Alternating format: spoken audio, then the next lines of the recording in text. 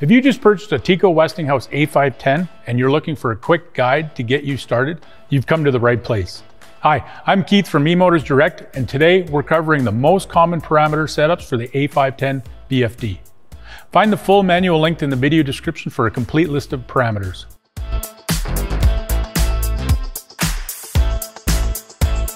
The TECO A510 VFD series is considered a heavy-duty drive available in up to 400 horsepower.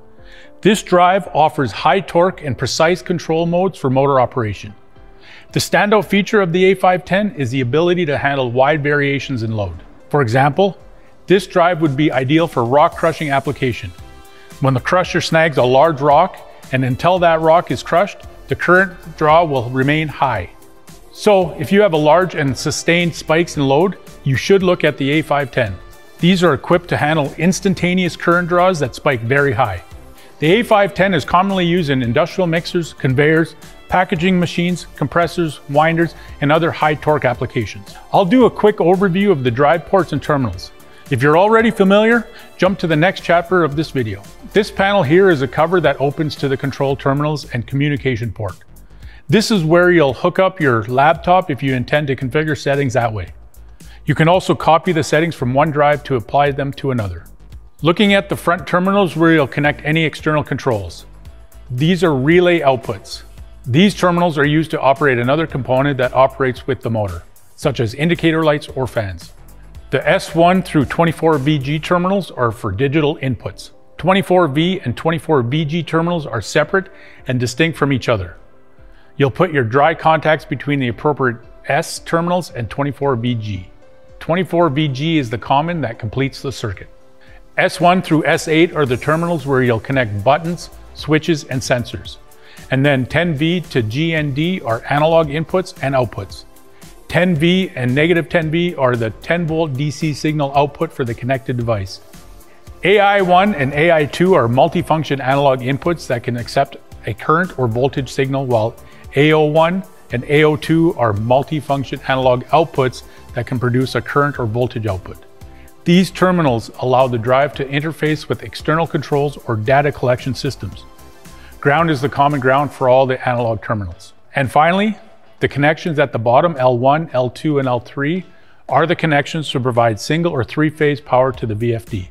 In single-phase setups, L1 is the power input and L2 is the neutral.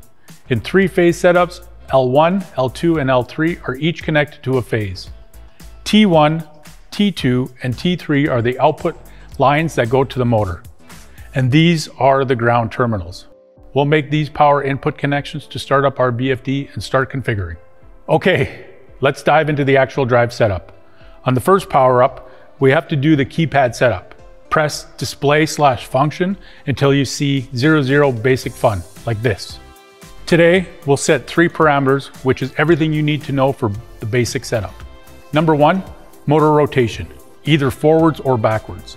Number two, the main run source, either through the VFD or with a start-stop switch. And number three, how you want to control the frequency, either with the arrows or dial. Once your keypad is set up, we can start setting our parameters. First, we'll navigate to 00-01, which is motor rotation. Open group 00 and select item 01. Set this parameter to zero for forward rotation or one for reverse rotation. We'll set ours to forward rotation and press enter to save. Next, we'll look at how you want to control the run signal to the motor. Highlight number two for run source. If you want to control your motor through the VFD, you'll have a value of zero. If you want to control the motor with a start-stop switch, you'll use a value of one. Make your selection and press enter. Next, we'll determine the frequency command source. Highlight number five for frequency source. If you want to control the frequency through the keypad, keep the value at zero. If you prefer to use an external potentiometer to adjust the frequency, change the value to one. Perfect. Now let's head back to the group list and start inputting our motor data into the VFD. You'll find all this info on your motor nameplate. In some cases, the nameplate won't have all the information you're looking for. That's fine. Just use whatever information you have. Start by entering the motor current, which is parameter 02-01. Motor data is entered in group 02. Press the display slash function button once to return to the list of groups. Highlight group 02 and press enter. Next, highlight number one for motor current. Find the current rating on your motor nameplate, which might be indicated as amps, FLA, or current. Set the parameter and press enter to save. The next parameter is motor rated speed under 02-03. Highlight number three and press enter. Our motor is rated for 1800 RPM, so we'll set that and press enter. Next, we'll assign the number of motor poles, 02-07. Highlight number seven, press enter. It's important to make sure that the motor rated RPM matches the number of motor poles. Next is the motor rated voltage under 02-04. Highlight number four. Set that to 230 volts, then press enter to save. We'll find motor rated power under 02-05. Highlight number five, press enter. This setting is rated as kilowatts. And finally, motor frequency under 02-06. Highlight number six, press enter. And we'll set that one to 60 Hertz and press enter to save. Now the VFD is set up for this specific motor. Now let's take a look at the maximum and minimum frequency output. Setting this parameter will help to ensure that the motor isn't operated outside of its rated speed range. 00-12 is for the maximum frequency and 00-13 is for the minimum frequency. Navigate to group 00, then highlight number 12 and press enter. We'll go ahead and set your max frequency. This value is set as a percentage of your rated motor frequency. Press enter. Highlight number 13 to set your minimum speed. Your minimum frequency might be zero, or if you want the motor to always be running at low speed, your 00-13 parameter will be higher than zero. I'm gonna set mine at zero and press enter.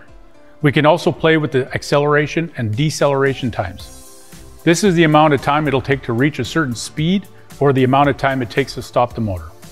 Acceleration is under 00-14. Highlight number 14 and press enter.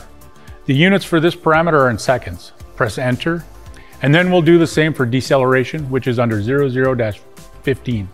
Highlight number 15 and press enter. Then determine how many seconds you want it to take for the motor to stop.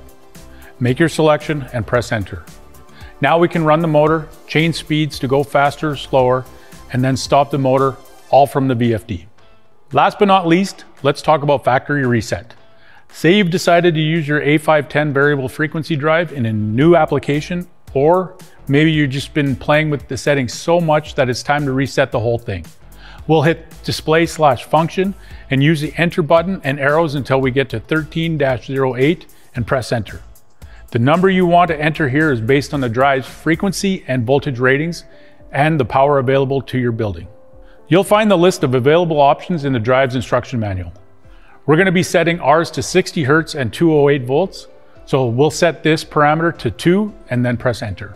And there you have it. You've successfully set up your TECO Westinghouse A510 VFD and are now ready to control your motor. If you have any issues setting up your VFD, contact our technical expert team.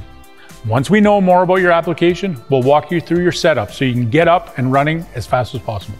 If you have anything to add, have any questions, or you have a suggestion for another topic for us to cover, leave us a comment below. Make sure you like this video and hit the subscribe button so you don't miss out on future videos. I'm Keith with eMotors Direct. Thanks for watching. We'll see you next time.